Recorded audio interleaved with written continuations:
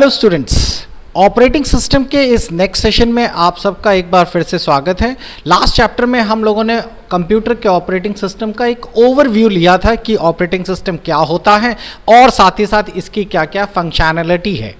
आज हम लोग बात करेंगे डिफरेंट टाइप ऑफ़ ओएस के बारे में। तो चलिए, आज के चैप्टर्स पे हम लोग शुरुआत करते हैं। Types of operating systems type of operating systems के बारे में देखिए जाए तो टाइप ऑफ़ ऑपरेटिंग सिस्टम्स शुरुआत से लेकर बार बार बदलता चला जा रहा है अपग्रेड हुआ है। सबसे पहले शुरुआत करते हैं बैच ऑपरेटिंग सिस्टम की। बैच वर्ड बच्चों जब भी आ जाए तो इसका एक मतलब होता है कि आप लोग कई सारे सेट ऑफ़ इंस्ट्रक्शंस को एक एक करके टाइप करते चले जाते हैं या लिखते या फिर आप कंप्यूट करने के लिए स्टोर करते चले जाते हैं और जब वो सब सीक्वेंस हो जाता है तब उसको एक साथ एग्जीक्यूट कर देते हैं। कहने का मतलब अभी आपको समझ आ जाएगा the user of batch operating system do not interact with the computer directly कहने का मतलब है, जिस सिस्टम पे बैच ऑपरेटिंग सिस्टम चल रहा होता है बैच बेस्ड ऑपरेटिंग सिस्टम चल रहा होता है, उसमें यूज़र कंप्यूटर पे सीधा बैठ के काम नहीं करता है। Each user prepare his job on an offline device such as punch card and submit to the computer यानी कि पंच कार्ड आप लोगों के बहुत पहले यूज़ हुआ करते थे, जब बहुत पुराने कंप्यूटर्स हुआ करते थे, उस बीच आपके सारा का सारा डेटा जो था, वो आप सिस्टम पे डायरेक्ट इनपुट नहीं करते थे पंच कार्ड्स पर इनपुट करते थे। मैं आपको दिखा देता हूँ। पंच कार्ड्स तो ये बहुत पुराने समय की मशीन्स हुआ करती थी, जैसे कि आप देख पा रहे होंगे पंच कार्ड बेस्ड तो इस पर सारा का सारा एक बहुत बड़ा सा यूँ कहिए कि एक जैसे कि इस फ़ोटो पे आपको दिखाई दे रहा होगा कि इसमें एक यूज़र जो है, वो एक पंच कार्ड लेता था और उस पर टाइप करता था पूरे के पूरे कोड। अभी पीसी से डायरेक्टली कनेक्टेड नहीं है।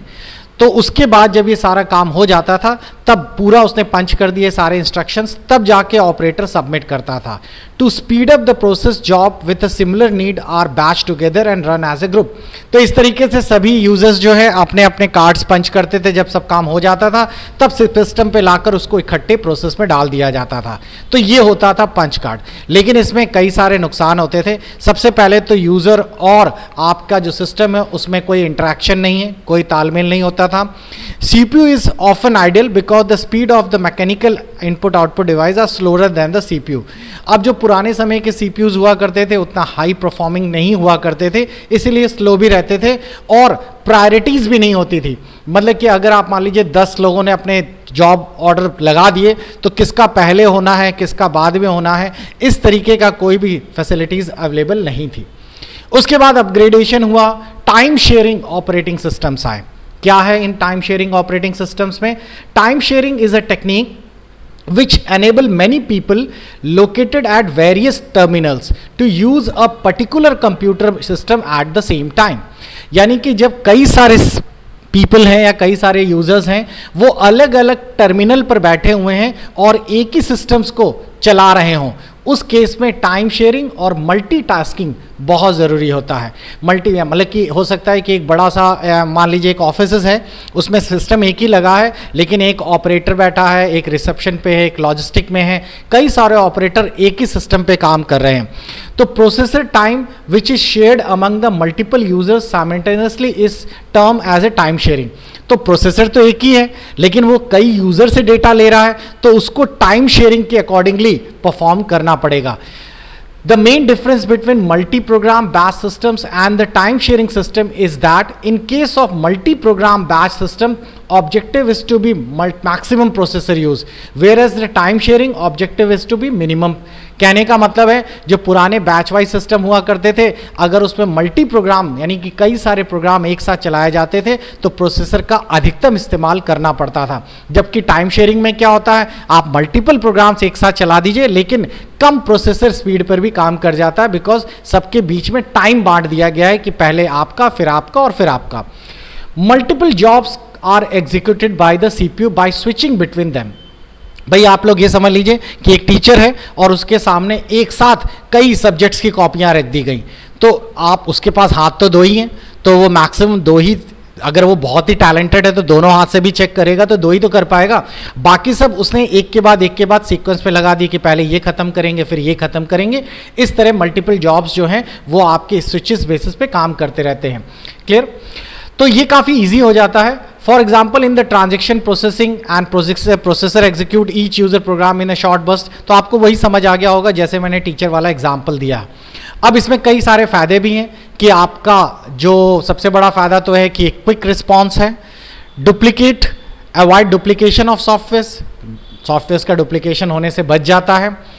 आपके सीपीयू को आइडियल टाइम मिलता है एक्सेस टाइम रिफ्यूज़ होता है, यूँ कहिए कि अच्छा खासा टाइम यूज़ कर सकता है।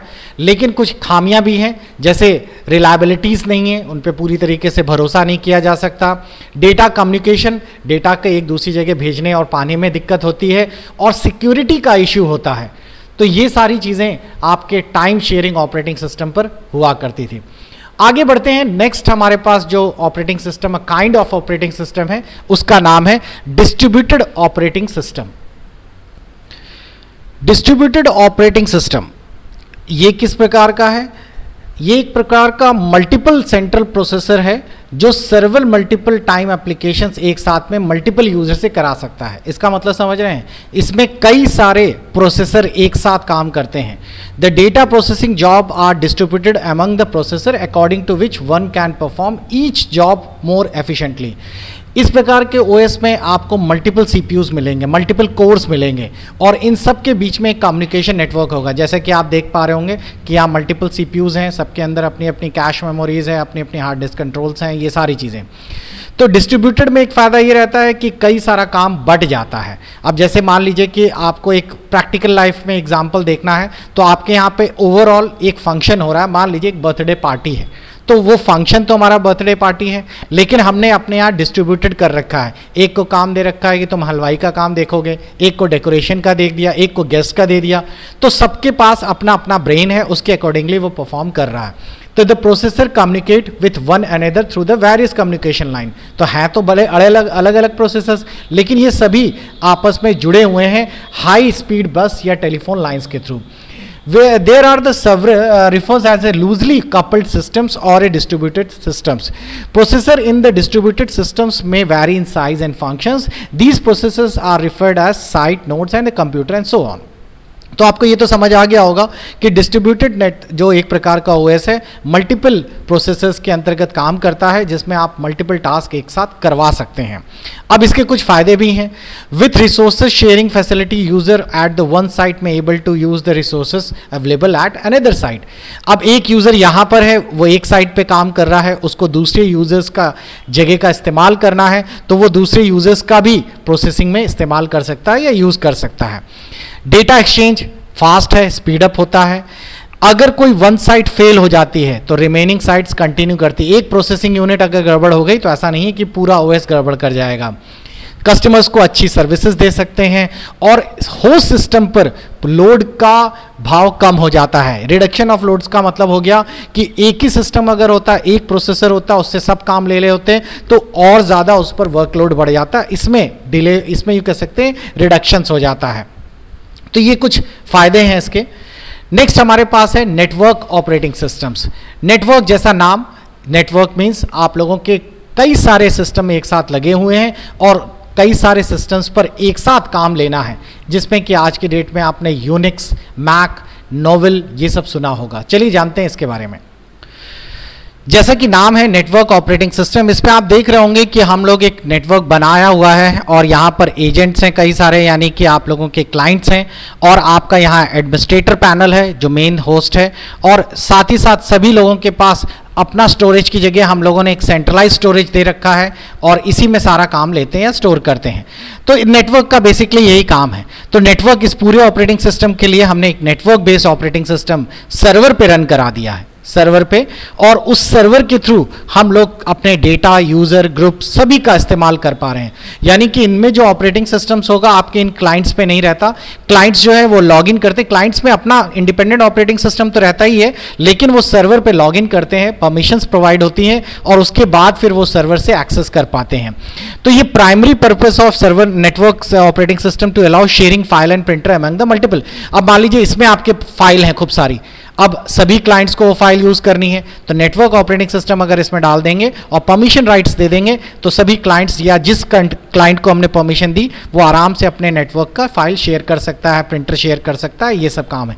और ये आज की डेट में सबसे बढ़िया ऑपरेटिंग सिस्टम इसी तरीके से काम होता है। एक बड़े बैंक्स और बड़ी ऑर्गेनाइजेशन में नेटवर्क ऑपरेटिंग सिस्टम्स के बिहाव पर काम किया जाता है। एक एग्ज़ाम्पल के रूप में माइक्रोसॉफ्ट का सर्वर 2008 यूनिक्स लिनक्स ये सभी आप लोगों के सर्वर बेस या नेटवर्क बेस ऑपरेटिंग सिस्टम है।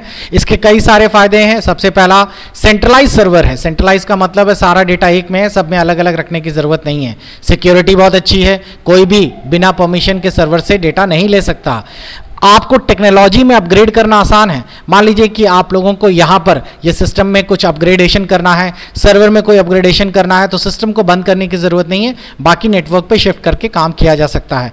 रिमोट एक्सेस कर सकते हैं। यहाँ से बैठा बैठा आदमी दूसरी जगह के सिस्टम को एक्सेस कर सकता है। ये सब बेनिफिट हैं। लेकिन कुछ नुकसान भी हैं, बड़े कॉस्टली आता है।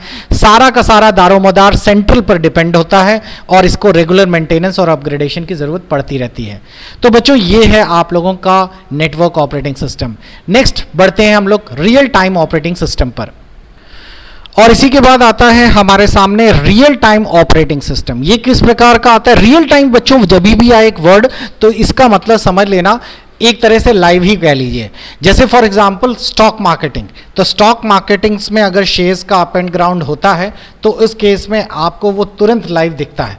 तो वो एक प्रकार का रियल टाइम बेस पर काम करने वाला सॉफ्टवेयर है ऑपरेटिंग सिस्टम भी कुछ इसी तरीके का है। तो real time system is define as a data processing systems in which the time interval required to process and response to the input is so small that it control the environment अब जैसे कि for example मुझे मान लीजिए कि आपका system control करना है, या मुझे रिमोट नेटवर्किंग पे कोई काम करना है तो मैं यहाँ से अगर आपके सिस्टम को यूज़ करना शुरू करता हूँ तो मैं यहाँ पे माउस को जो क्लिक करूँगा या इनपुट दूँगा और आपके सिस्टम पर जो आउटपुट निकलेगा, जबकि देखा जाए तो इसमें टाइम लगना चाहिए, लेकिन हमारे पास real time based operating system में एक बेनिफिट ये रहता है कि दोनों काम होने और इनपुट के बीच का समय बहुत ही अंतराल कम होता है तो उसको देखने में लगता है कि वो हमेशा ऑनलाइन ही है। Clear so real time system by the system uh, real uh, the time taken by the system to the response to the input is display as a require updating information in the term of response time तो response time क्या होता है response time वो ही time है जिस बीच आपका system response यानी कि आपका system result दिखा देता है जैसे कभी कभार आप देखते होंगे, पुरानी समय के जो टेलीविजन्स होते थे, उन टेलीविजन्स को जब आप ऑन करते थे तो वो धीरे धीरे करके पूरा ऑन तुरंत नहीं ऑन होते थे। तो हम कहते थे, पुराने समय के मॉनिटर्स का रिस्पॉन्स टाइम बहुत स्लो होता है। अब अगर आप देखते हैं तो आपका सिस्टम ऑन होते ही तुरंत ही आपके स्क्रीन पर फ्लक्चुएट हो जाता है, या फिर अगर आप कोई दूसरी स्क्रीन लाते हैं तो तुरंत आउटपुट आ जाता है। तो रिस्पॉन्स टाइम एक वो टाइम है जो कि आपका सिस्टम ले रहा है इनपुट करने के बाद। आपने क्लिक किया इनपुट किया रिस्पॉन्स टाइम बहुत अच्छा है तो तुरंत आउटपुट आपको दिख गया, तुरंत उसका आपका डिस्प्ले आ गया। तो ये तो होता है रियल टाइम तो आई थिंक आप लोगों को समझ आ गया होगा। अब इसमें बहुत सारी चीज़ें हैं जो एग्ज़ाम्पल के रूप में आप यूज़ करते हैं, जैसे कि वेपन सिस्टम्स डिफेंस में। अब भाई, अगर आपको कोई फायर करना है रिमोटली कोई गन फायर करनी है तो ऐसा तो है नहीं कि आप अभी यहाँ पे एंटर मार दें, थोड़ी देर बाद वेट करें अच्छा अब घूमेगा, अब फायर होगा। ना, वो तो एट ए मोमेंट होना चाहिए ना। मेडिकल इमेजिंग जैसे कि आप देखते होगे सोनोग्राफी या फिर आजकल जो इंडोस्कोपी होता है तो आपको जब भी कोई पेशेंट्स की बॉडी के अंदर नली डाल के जब टीचर जो आपका डॉक्टर है, वो देखता है तो उसको रियल टाइम इमेजेस दिखती हैं। ये नहीं कि पास की है। Industrial control robots home appliances traffic controls इत्यादि। तो मेरे ख्याल से आपको ये पार्ट समझ आ गया होगा कि आपके डिफरेंट टाइप के ऑपरेटिंग सिस्टम्स क्या होते हैं।